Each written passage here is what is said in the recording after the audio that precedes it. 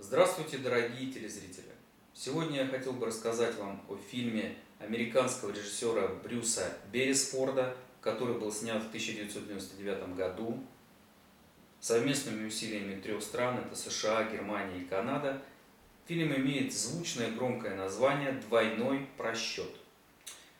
В главных ролях в этом фильме снялись также знаменитые, известные американские актеры Эшли Джуд, Томми Ли Джонс, Брюс Гринвуд. Очень коротко забегая вперед, хочу сказать, что рекомендую этот фильм к просмотру. Не буду давать ему какую-то рейтинговую оценку и так далее. Рекомендую особенно молодым людям, ну, конечно, старше 16 лет, да, возможно, и до 16. Рекомендую людям, стоящим на пороге вступления в семейную жизнь, на пороге каких-то серьезных отношений, либо людям, уже состоящим в браке, молодым семьям там, и так далее. В чем суть картины, очень коротко. Там показана жизнь, жизнь и такой образ жизни молодой семейной пары и всего их окружения с достатком выше среднего по американским меркам. Почему я делаю такой вывод, что достаток выше среднего? Потому что у них есть яхта, скорее всего, они э, проживают на берегу как Атлантики, Атлантического океана, либо в одном из штатов, близких к побережью Атлантики. Они э, берут яхту и отправляются в путешествие, в небольшое короткое путешествие, может быть на один-два дня, в котором происходят события, из-за которых главная героиня наша, Элизабет Либби Парсонс, которая сыграла Эшли Джуд, она попадает в тюрьму на долгих 6 лет. Это только в тюрьму на 6 лет она попадает, а потом еще, значит, ей предстоит отбывать какое-то наказание в виде определенных работ и проживания в определенном месте, в том, где ей укажут. В общем-то, какие события там происходят? Ну вот они вдвоем с мужем находятся на яхте, и она просыпается, просыпается, вся измазанная в крови в каком-то, в халате непонятном. Он весь в крови, на полу везде кровь, везде осколки каких-то битой посуды, стекла и так далее. Мужа нет, она полностью не понимает, что происходит вообще. То есть режиссер рисует картину такую, э, попадание из одной реальности в другую, причем очень резко. Вот. Ну и происходит расследование, вмешивается полиция в этот процесс. Вот они расследуют, куда же пропал ее супруг, вот, и что вообще произошло. Она, соответственно, наша героиня утверждает, что она невиновна, она к этому не причастна, она абсолютно не поймет, в чем дело вообще. Вот. И в то же время каких-то следов, следов каких-то они найти не могут, в общем-то, не могут тоже понять, что, что произошло. Вот. Но факт остается фактом. Наша женщина-героиня, наша Эшли, Элизабет Либби, она, значит, э, последняя, кто видел своего супруга, это раз. И второе, все имущество, э, весь их, их бизнес застрахован таким образом, что в случае гибели, потери, исчезновения ее супруга, она получает 2 миллиона долларов. И это может быть являться мотивом, по мнению властей Соединенных Штатов. Вот.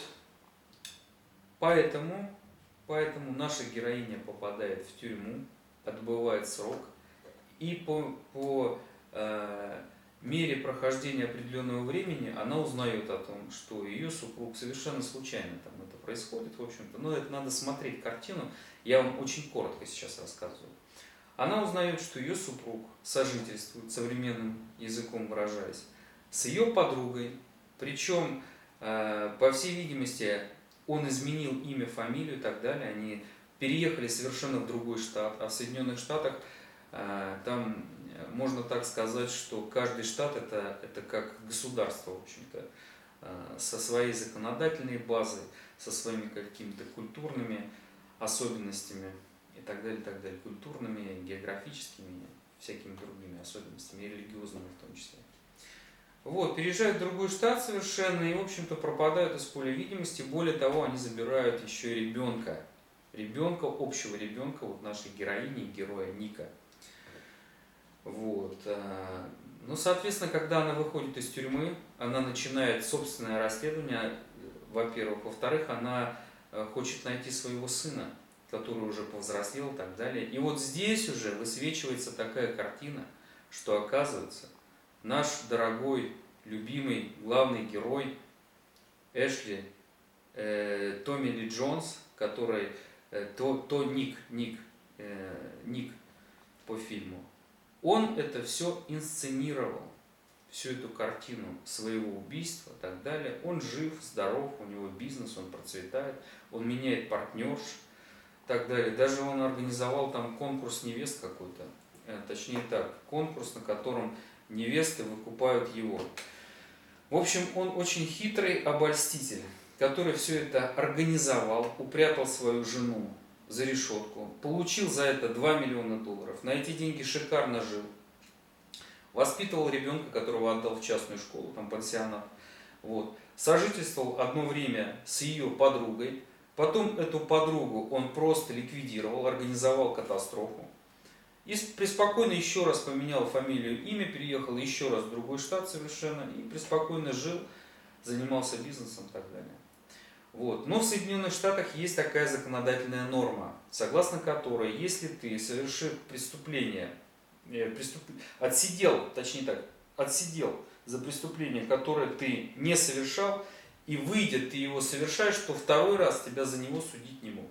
То есть, допустим, вот эта женщина, она реально не убивала своего супруга. Но она за это преступление понесла наказание, она отсидела за него. И вот повторно за, не, за это же преступление ее судить не могут. И наша героиня с такой мыслью жила долгое время, возможно, ей эта мысль помогла. Вот, э, относительно того, что она понимала уже, находясь в тюрьме, что ее предали, что ее подставили и так далее. Она хоть планировала выйти из тюрьмы и просто пристрелить своего супруга, потому что он являлся главным исполнителем, вдохновителем там, и тогда организатором всего этого преступления.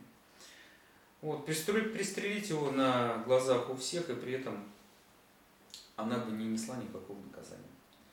Вот это если очень коротко о сюжете этого фильма.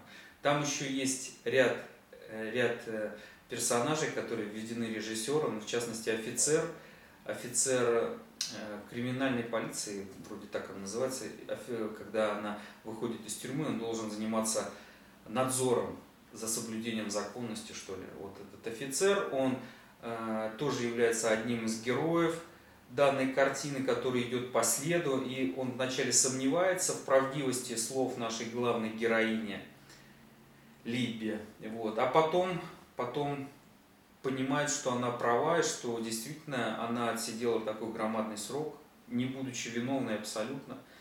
Он принимает ее сторону, и ну, в итоге, в общем-то, зло наказано, и справедливость восторжествует. Вот. Рекомендую вам просмотру этот фильм. Оценку данного жанра я ставить не буду. Просто так получилось, что э, была возможность у меня посмотреть его, и поэтому я вот сделал некий обзор данного фильма. Пожалуйста, подписывайтесь на канал, ставьте лайки. Не забывайте смотреть канал. До новых встреч!